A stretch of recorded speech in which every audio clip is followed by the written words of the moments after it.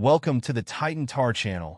Today we have a topic to discuss about Italy gears up for AW249 helicopter production to redefine combat aviation.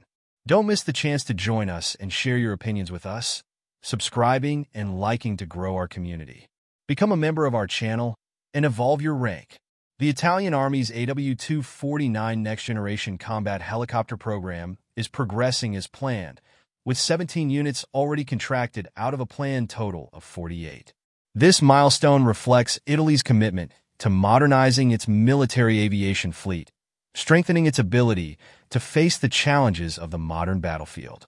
First deliveries are scheduled to begin in 2027, marking the beginning of a new era in Italian strike aviation.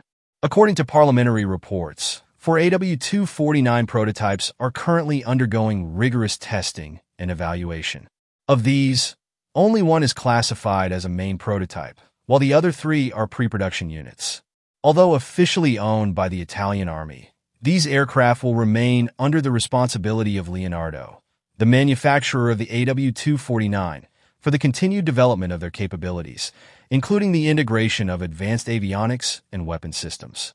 Since November 2023, armament trials of the AW249 have been underway, focusing on its 20mm cannon and unguided rocket systems.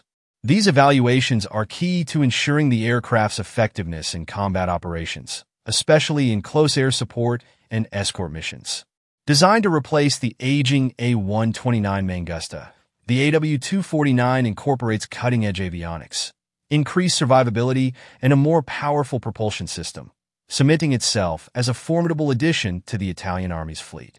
The AW249 program is aligned with Italy's wider efforts to modernize its rotary wing aviation, ensuring operational superiority in increasingly complex combat conditions. With the ability to operate in asymmetric warfare scenarios and high-intensity engagements, this attack helicopter will play a crucial role in future Italian and NATO missions. As testing and production progress, the focus remains on optimizing weapon systems, enhancing situational awareness capabilities, and ensuring interoperability with allied forces, reinforcing Italy's strategic position in the global defense landscape. Don't forget to subscribe to our channel like the video, and share with your friends. You mean a lot to us and help us interactions grow. See you next time.